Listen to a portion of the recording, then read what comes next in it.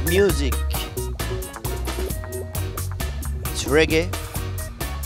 You take a reggae separate track, separate channel, you know. Not from a tape, yeah. you can you can use tape or computer, yeah.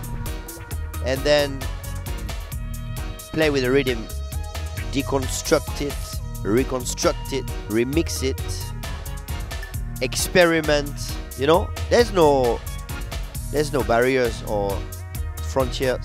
You know, you just like you have something in your hand and you just experiment.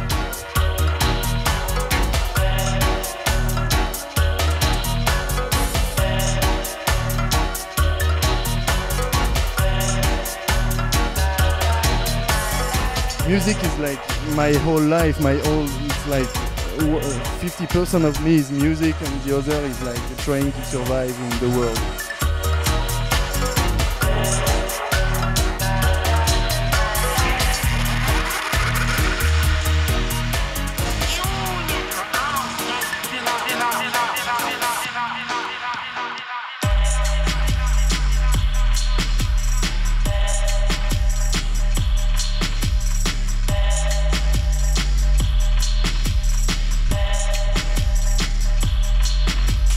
waking up at 7 a.m., go to the supermarket, take the van because you rent it.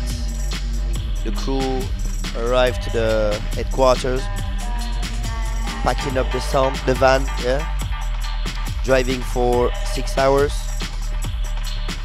Arrival at the venue, setting up the sound, string up the sound, testing the sound.